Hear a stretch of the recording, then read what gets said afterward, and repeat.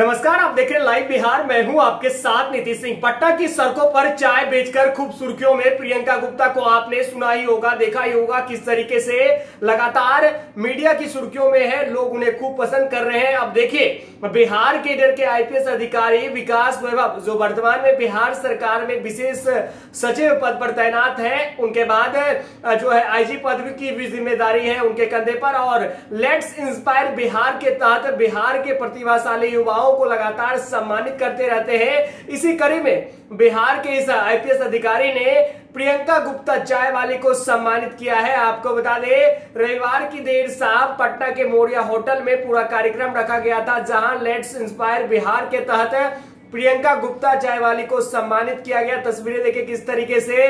प्रियंका गुप्ता चाय वाली को सम्मानित किया जा रहा है। उनके चेहरे पर खुशी है और क्यों ना हो, लगातार अपने मेहनत से चर्चा में रही है। आपको पता है, प्रियंका गुप्ता ने बनारस से पढ़ाई करी है। उसके बाद जब पटना आई तो पटना वुमेन्स कॉलेज के बाहर उन्होंने स्टॉल लगा दिया और धीरे धीरे स्टॉल भी बढ़ाया और अब इनका स्टॉल जो है वो बढ़ता चला गया है। पटना के बोर्डिंग रोड चौराहा पर नया ठिकाना इन्होंने बना लिया है और इन्हें लोग खूब पसंद कर रहे हैं। पिछले दिनों ही आपने देखा था, भोजपुरी की सुपरस्टार अदाकारा बात कर रहे हैं। अक्षरा सिंह की पहुँची थी, उन्होंने चाय पी थी और ढेर सारी बधाई भी दी थी। उसके बाद जब पप्पू यादव भी पहुँचे थे, उन्होंने भी बधाई दी थी। तो इस बार लेट्स इंस्पायर बिहार के तहत बिहार के प्रतिभाशाली युवाओं में से एक बिहार की बेटी, प्रियंका गुप्ता चाय वाली जो ग्रेजुएट चाय वाली के नाम से चर्चित है, उन्हें सम्मानित किया जा रहा है। इस मौके पे बिहार सरकार के मंत्री, उद्योग मंत्री शाहनवाज हुसैन भी पहुँचे हैं और साफ़ शब्दों में बधाई दे रहे हैं। आपको बता दें, सोशल मीडिया पर इन दिनों खूब पसंद की जा रही है। प्रियंका गुप्ता लगातार अपने काम को लेकर चर्चा में है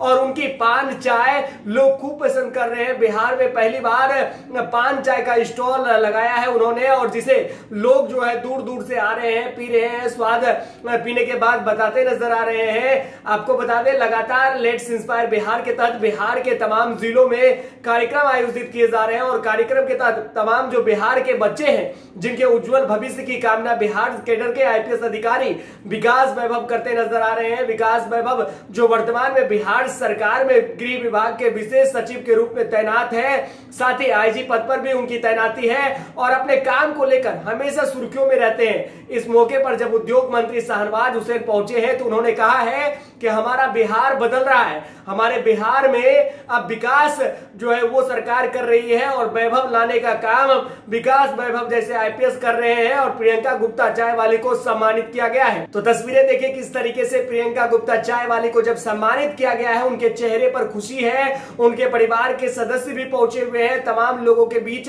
खुशी बांटते हुए प्रियंका गुप्ता नज़र आई है। बिहार सरकार के तमाम जो मंत्री हैं, वो लगातार उन्हें बधाई दे रहे हैं, उनकी स्टॉल पर जाकर चाय भी पीते नज़र आ रहे हैं। आपको बता दें, प्रियंका गुप्ता इन दिनों खूब सुर्खियों में रही है, अब उन्हें काफ़ी ज़्यादा लोग पसंद करने लगे हैं और बिहार के तमाम जिलों में प्रियंका गुप्ता अब जो है, पूरे बिहार में चाय की स्टॉल जो है वो लगाने जा रही है। हम आपको लगातार ऐसे खबरों से अपडेट कराते हैं। आप बाकी खबरों के लिए बने रहे लाइव बिहार के साथ। और हाँ आपने अब तक हमारे चैनल को सब्सक्राइब नहीं किया तो ज़रूर कर ले।